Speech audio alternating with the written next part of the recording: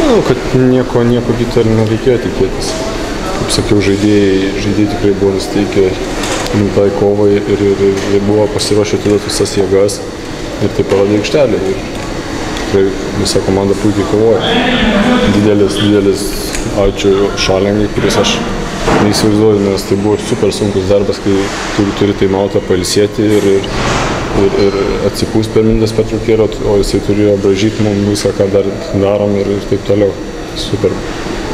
Ar komandoje kažkas pasikeitė, bent jau braižė komanda šiandieną? Ne, niekas ne, ne, ne, nepasikeitė, kaip, kaip turėjom su treneriu anksčiau tokius, tokius dalykus, tuo pačiu ir laikėmės ir žinom, kad jeigu kantriai viską vykdysim, e, tai, tai galim pasiekti pergalę, taip ir buvo. Ir, ir, ir tos dalykus šiek tiek buvo toksai chaos, nu toks ne tai, kad chaosas, bet toks neįprastas ant soliuko. Taip visi, visi kalba, tai, bet, bet viskas gerai. Sus, susitvarkė ten, kam buvo patikėta su savo užduotimi ir laimėjom. Kažkiek Sakalausko patarimai padėjo. Taip, taip, taip, čia patarinėjom ir, ir, iš, ir, ir iš šono, kaip, bet, bet, sakau, visi kartu, visi komandinė pergalė. Manau. O kas priimdamas sprendimus, kas turi keisti žaidėjus?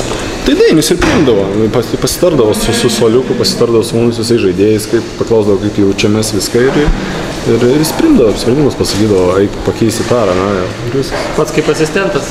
Ne, nu tai ta prasme, jau kaip jisai išsikvėpė, kažkam reikėdavo, tai, tai, tai taip ir, tai vienas, tai kitas padeda jam ir taip ir, sakau, visi kartu išstenėjom tą pergalę. Kaip serija dabar, vis tik taip psichologinė persvara vis tik gal į jūsų rankas grįžo. Jūsų. Nu, sunku pasakyti dabar, vėl aišku, rezultatas 2-2, važiuojam, važiuojam į Vilnių ir, ir viskas, kaip jisai pasakyti, prasideda iš naujo ir vėl, vėl kovos, ir rytas kovos, taip pat, kaip, manau, tik tai, tik tai įdomiau darosi.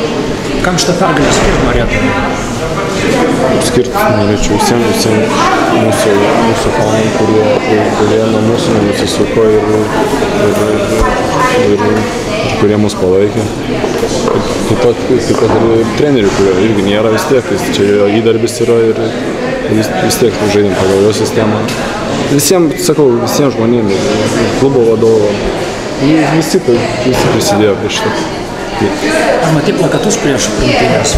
Matau, bet aš nu, čia ne mano darbas komentuoti dalykus ir ką, mes žaidžiam krepšinį ir tiek.